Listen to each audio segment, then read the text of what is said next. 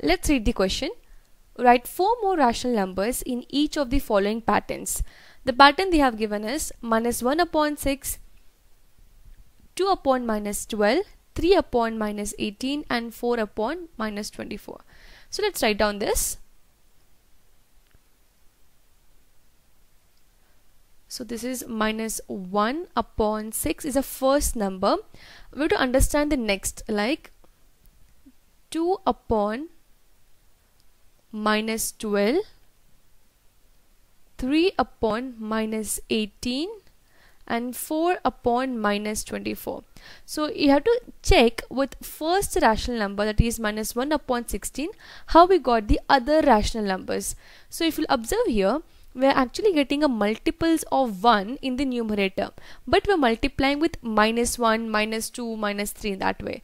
So we're not multiplying with 1 2 3 instead we're multiplying with minus 1 minus 2 minus 3 same in denominator also.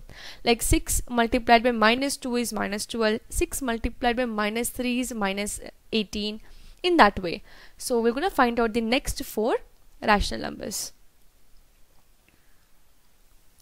let's start doing this. So here the next one we're going to multiply with minus 5 so minus 1 multiplied by minus 5 multiply 6 with minus 5 so we'll get 5 upon minus 30 then again minus 1 multiplied by minus 6 upon 6 multiplied by minus 6 this is equal to 6 upon minus 36 then next minus 1 multiplied by 7 minus 7 and 6 multiplied by minus 7 is equal to 7 upon minus 42.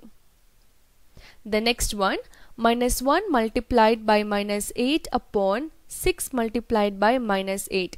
This is equal to 8 upon minus 48. So that's it. We got the next four rational numbers. So from here we can write down.